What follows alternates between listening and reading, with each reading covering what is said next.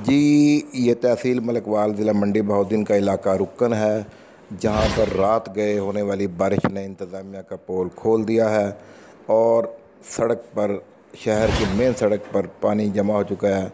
खंडरात का मंज़र इस वक्त सड़क पेश कर रही है, आप देख सकते हैं। इंतज़ामिया का पोल खुल चुका है और ट्रैफ़िक के आमदोरफ्त में सख्त मुश्किल का सामना है। यहाँ के अवामी समाजी का मुतालबा किया किया है कि फौरी तौर पर इसका नोटिस लिया जाए।